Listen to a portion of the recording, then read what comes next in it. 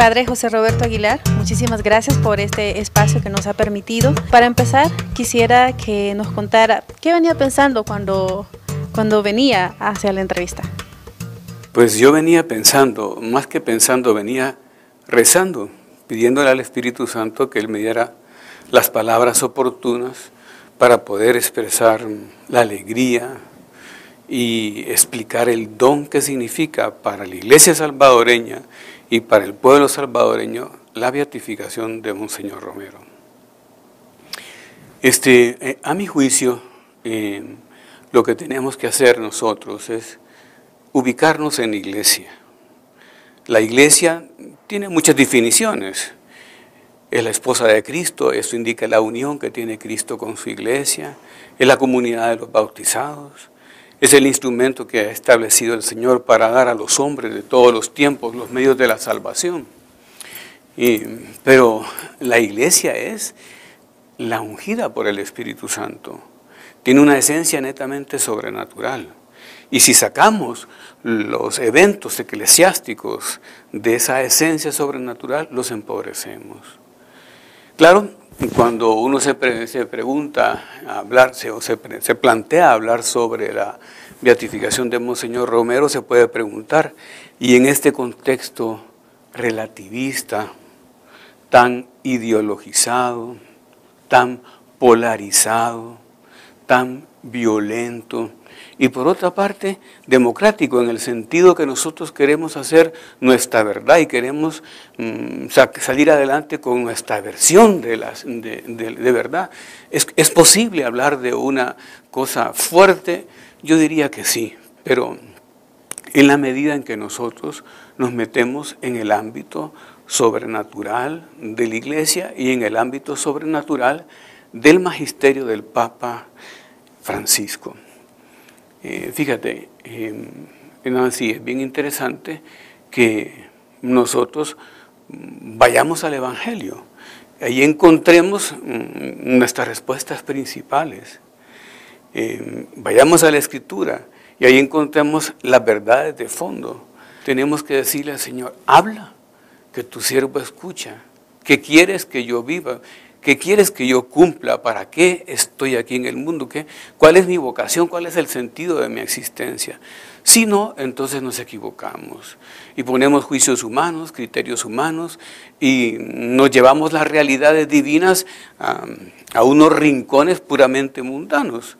Fíjate que este, leyendo la encíclica Evangelii Gaudium, podemos ver cosas preciosas. El Papa nos habla precisamente del conflicto y dice, el conflicto no puede ser ignorado, no puede ser disimulado, el conflicto ha de ser asumido.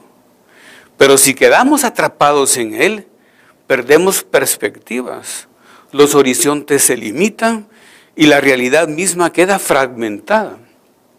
Cuando nos detenemos en la coyuntura conflictiva, perdemos el sentido de la unidad profunda de la realidad. Dios ha hecho la realidad y nosotros no la captamos cuando nos enredamos en el conflicto. Ante el conflicto, dice el Papa, caben varias posturas. Unos simplemente le ignoran, otros quedan prisioneros y pierden horizontes y proyectan esas, esos, ese conflicto en las instituciones. Pero hay una tercera manera más adecuada de situarse ante el conflicto, es aceptar, sufrir el concepto, resolverlo, transformarlo en eslabón de un nuevo proceso. Y entonces merecemos ser llamados felices los que trabajan por la paz. Entonces hay que enfrentar esta realidad del el pueblo salvadoreño tan sufrido y la invitación que nos hace el Papa mediante la beatificación de Monseñor Romero de, de unirnos, de fraternizar. Fíjate que mm, yo te estoy citando esto porque a mí me parece muy, muy, muy clarificador. Dice el Papa, las diferencias entre las personas y comunidades a veces son incómodas, pero el Espíritu Santo, que suscita la diversidad, puede sacar de todo algo bueno. En cambio, cuando nosotros actuamos independientemente, lo que implantamos son nuestros particularismos, nuestros exclusivismos y provocamos la división. Esto es triste, pero se da, se podría dar. Y entonces lo que hemos de ver es la oportunidad que nos presenta el Papa de unirnos, de fraternizarnos a la sombra, diríamos, de este gran hombre que ha sido Monseñor Romero, sin resistencias internas, sin cansarnos jamás de optar por la fraternidad. Y yo veo pues que Monseñor Romero predicaba en, con ese telón de fondo una fraternidad bien vivida. Claro que nosotros podemos ideologizar la figura equivocadamente, pero él no, no predica de un podio filosófico, humano, desde una ideología, sino que predica desde una caridad profundamente entendida, una caridad evangélica, y nos propone amarnos de verdad que optemos por la comunidad, dice el Papa, mm, y en este ámbito, en este contexto sobrenatural, predica Monseñor Romero, dice, no nos dejemos robar la comunidad. Como salvadoreños tendríamos que oír bien estas palabras del Papa y aprovechar la oportunidad que nos brinda la mm, beatificación de Monseñor Romero. Ahora, te decía que el, mm, el problema, el sustrato es eclesial. Cuando uno ve la figura del Papa y le entiende como lo que, como lo que es, entonces agradece esto sin cuestionamientos. Recordemos cómo el Señor conduce a San Pedro y cómo señala a San Pedro y le entrega eh, esa posición mm, eh, ese, principal entre el colegio apostólico. Recordemos que el camino de Cafarnaún eh, los apóstoles discutían en el camino y Jesús les pregunta, este, ¿de qué discutías en el camino? Los hombres somos así, estamos a la par de Dios, estamos junto a Dios, estamos en momentos claves y cumbres y estamos discutiendo por nuestra soberbia, por nuestra vanidad, por nuestra ambición, cosas absurdas. Y ellos tienen vergüenza de contestar porque estaban discutiendo sobre quién sería el mayor. Y el Señor, pues, mm, sigue el diálogo y les pregunta quién dice la gente que es Él. Y más adelante dice, ¿y vosotros quién decís que soy yo? Y el único que contesta es Pedro. Y Pedro contesta, tú eres el Cristo, el Mesías, el Hijo de Dios vivo. Y Jesús se pone feliz porque Él distingue la realidad, porque hay alguien que lo comprende tal cual es y le dice, bienaventurado eres Simón, tú, hijo de Juan, porque no te ha revelado esto ni la carne ni la sangre, sino mi Padre que está en los cielos. Y en verdad, en verdad te digo, tú eres Pedro, roca pues, y sobre esta roca, sobre esta piedra, edificaré mi iglesia. Y después le da la potestad de las llaves y le dice que todo lo que Él perdone, ah, pues todo lo que cierre o clausure en la tierra será clausurado en el cielo y todo lo que abra en la tierra será abierto en el cielo. Entonces aquí queda Pedro como la roca, ¿verdad? Francisco es la roca, Francisco ha hablado, Francisco nos ha comunicado esta noticia buenísima, eh, eh, encantadora de la beatificación de Monseñor Romero. Hemos de abrirnos al don de Dios, pero todo es un ámbito sobrenatural. Todo es un ámbito meramente eclesiástico, si no lo mundanizamos y lo trivializamos. Es interesante también observar cómo Jesús, cuando está en la última cena, en un momento determinado, después de lavarle los pies a los apóstoles, le dice a Pedro aquello que Satanás lo busca para cribarlo, como se criba el trigo, lo busca para tentarlo, porque está como león rugiente buscando siempre a quien devorar. Y le dice, yo he rogado por ti. Y tú después confirma a tus hermanos. Entonces le da esa labor de confirmar a Pedro, al Papa, la labor de confirmarnos a nosotros, de llevarnos al bien, de conducirnos a la verdad. Y es lo que está haciendo Francisco con esta beatificación. Después es interesantísimo y conmovedor cómo Jesús le da la oportunidad a Pedro de restablecer o de pedir perdón por esa triple negación que tuvo en la casa del sumo sacerdote. Y le dice, caminando en la orilla del lago de Genezaret, eh, le dice, Simón, hijo de Juan, ¿me amas más que estos? Y Pedro contesta que sí. Y Jesús le dice, apacienta mis ovejas, apacienta mis corderos. Le vuelve a preguntar y Pedro contesta que sí, y le dice Jesús, apacienta mis ovejos, apacienta mis corderos, y luego le vuelve a preguntar una tercera vez. Y Pedro se conmueve y dice, Señor, tú lo sabes todo, tú sabes que te amo. Pero Jesús le dice, apacienta mis ovejas, apacienta mis corderos.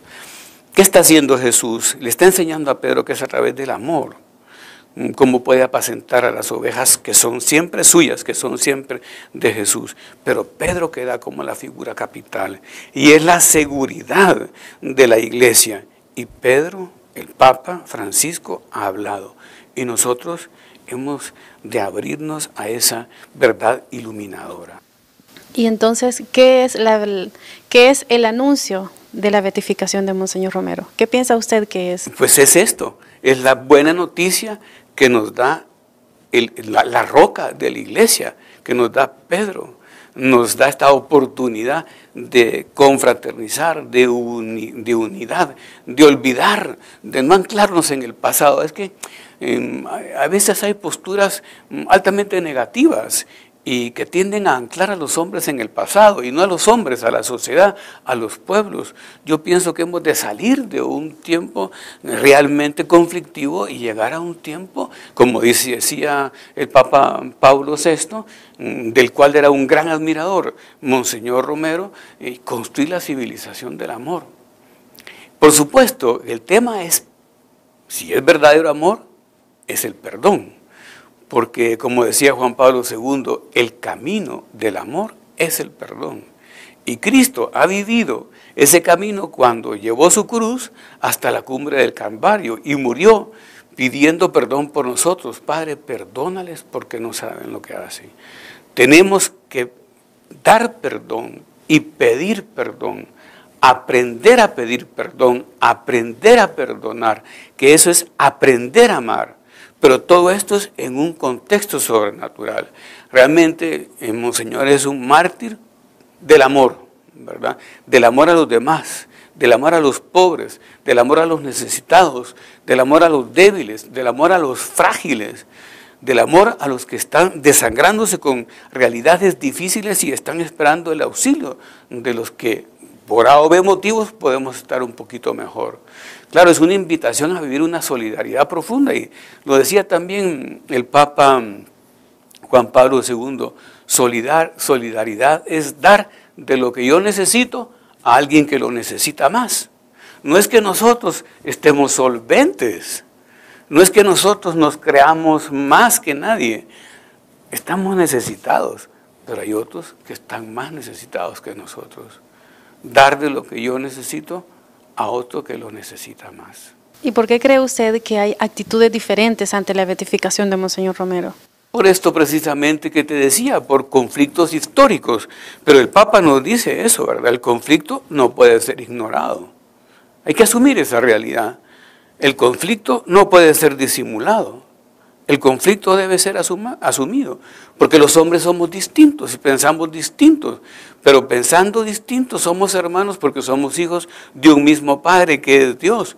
Y hablando de la iglesia, hijos de un mismo Padre que es el Papa, que nos ha dado, nos ha comunicado este bien, después de un estudio de tres romanos pontífices, hay que decirlo, porque lo estudió Juan Pablo II y dijo que estaba bien, lo estudió Benedicto XVI, el sabio Benedicto XVI, y dijo que estaba bien, que este hombre era un santo, y después lo ha estudiado el Papa Francisco y su voto ha sido el mismo, y es más, nos ha propuesto la beatificación, que es un proceso, porque estamos en el proceso de la canonización, o sea, ya para que sea nombrado santo.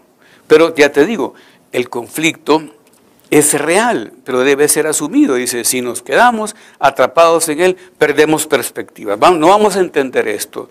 Y dice más el Papa, los, eh, los horizontes se limitan y la realidad misma queda fragmentada. de lo que tenemos una gran experiencia en El Salvador, una realidad social muy fragmentada, que el Papa mm, quiere que mm, mejore, lógicamente, a través de este don de la beatificación de Monseñor Romero. Y una de las, entonces, entendería que una de las formas para sanar esas heridas es el perdón. Por supuesto, es que no hay amor sin perdón. Eh, ya te digo, eh, hay diferencias, somos distintos, pero en medio de todo y, por encima de todo somos hermanos. Fíjate que el Papa tiene una frase que a mí me encanta mucho, me gusta mucho en el número 228 de la carta Evangelii Gaudium, que es una carta programática de su pontificado. Él dice que esto se hace posible desarrollar, permite desarrollar la comunión en las diferencias y esa comunión, dice, solo pueden facilitarle, facilitarla las grandes personas que se animan a ir más allá de la superficie conflictiva y miran a los demás en su dignidad más profunda. Y la dignidad más profunda del hombre es que es hijo de Dios. Esto es lo que nos da toda la valía. Cristo precisamente vino al mundo para recuperarnos en esa dignidad de hijos de Dios. ¿Y cómo conoció usted a Monseñor Romero? Yo a Monseñor Romero lo conocí adolescente en un centro del Opus Dei cuando él salía de conversar con Monseñor Fernando Sáenz, del que era amigo, y yo estaba cipote, como decimos aquí, y Monseñor Romero se puso a bromear con nosotros. Éramos un grupo de muchachos que estábamos en ese centro del Opus Dei, la residencia doble día en Avenida Roosevelt, y entonces él, me acuerdo, iba vestido de sotana blanca, este, no, no sé exactamente dónde estaba en ese, porque es un recuerdo que se pierde, se me confunde en el tiempo. Y después, este, mi familia es originaria de Santiago de María, tuve cierto contacto en Santiago de María, y, mm, pero yo no, antes estudié arquitectura, yo no, no, sabía que el Señor me llamaba para el sacerdocio, entonces me fui a Guatemala a estudiar arquitectura y después cuando ya me decidí a ser sacerdote, em, opté por ir a estudiar a Roma y entonces en esos años en que estuvo Monseñor Romero en, ya como arzobispo, yo estaba estudiando en Roma y después en España mi doctorado en Derecho Canónico y pues no tuve un contacto muy directo con él en ese, en ese momento. Vine a Centroamérica, por supuesto, pero no tuve un contacto directo con él. Personal, pero sí directo a través de su, de, su magisterio, pues, ¿verdad? Pero era una figura tierna y encantadora, pues. ¿Y qué mensaje le deja la vida de Monseñor Romero? El amor, el amor a los demás, el amor a la unidad, el salvar las diferencias, el abrazar a los demás como son, en su dignidad, como dice el Papa Francisco, en su más profunda dignidad, y abrirnos precisamente a los más necesitados, ¿verdad? A, la persona herida, mm, despreciada, discriminada, y a la persona pobre, a la persona enferma. Pienso que esto no puede negar nadie que es lógico y comprensible, pero él tuvo la, valentía de enseñarlo, y es una cosa maravillosa. Como sacerdote del Opus Dei, este, nos puede brindar un mensaje de cómo podemos vivir intensamente la beatificación de Monseñor Romero, que ya está a unos días. Mira, como sacerdote del Opus Dei, el Opus Dei lo que propone es la santidad en la vida ordinaria. Entonces, eh, a mí se me ocurre, pues en esta pregunta, en este momento, que lo interesante sería que lleváramos ese espíritu de Monseñor Romero a la vida ordinaria. Y en la calle fuéramos los salvadoreños menos conflictivos. Yo pienso que los salvadoreños, mira, te voy a contar una cosa que me acaba de suceder. Un mexicano que quiere al Salvador me decía, es extraño cómo los salvadoreños son tan cálidos, tan amorosos, tan atentos, pero de repente dan un salto y se vuelven conflictivos y pleitistas. Y nosotros somos un pueblo a veces peleonero, vamos en, el tráfico y la gente va discutiendo, se echa el carro y entonces pues tenemos que aprender a vivir a imponer la paz, la paz del Señor, el amor, a respetarnos en estas cosas pequeñas y ordinarias como es el tráfico, como puede ser el trabajo, el trabajo en equipo, la sonrisa, el respeto por la familia, el marido a la mujer, la mujer al marido, los padres a los hijos, los hijos a los padres. Em, eso es lo que nos enseña Monseñor Romero. Y si hay heridas, perdonar. Si hay heridas, perdonar. Y, salvar las dificultades del propio egoísmo, ¿verdad? Que eso es una cosa muy, mm, muy clara. En el, él pedía que el Papa acaba de hablar de la indiferencia en el mensaje de la cuaresma, la indiferencia globalizada. Nosotros no podemos ser indiferentes, no podemos meternos en nuestra individualidad o individualismo y cerrarnos a los demás. Hemos de abrirnos, pero abrirnos en la vida ordinaria, ¿verdad? Es, ya te digo, la familia, los amigos, los compañeros de trabajo, los que, las personas que nos encontramos, donde nos movemos, en los medios de transporte, eh, y perdonar, hay tantas cosas tan duras en nuestro país, el fenómeno de las maras, el fenómeno de, los odios partidistas, este, con eso hemos de ir terminando cuanto antes. Y yo pienso que es un jalón del Espíritu Santo desde el cielo, ¿verdad? Esta beatificación como para, está como diciéndonos a los salvadoreños, suban, suban arriba, se han quedado abajo, suban un escalón o más escalones, acérquense a mí. Y yo pienso que es el camino, ¿verdad? Aceptar la invitación del Papa a este amor, que es el que en definitiva está presidiendo todo esto desde Roma, y luego pues abrir nuestro corazón al amor verdadero que incluye siempre el perdón. Muchísimas gracias, Padre, por darnos estas palabras tan maravillosas acerca de Monseñor Romero y de la beatificación. Muchas gracias. Gracias a usted.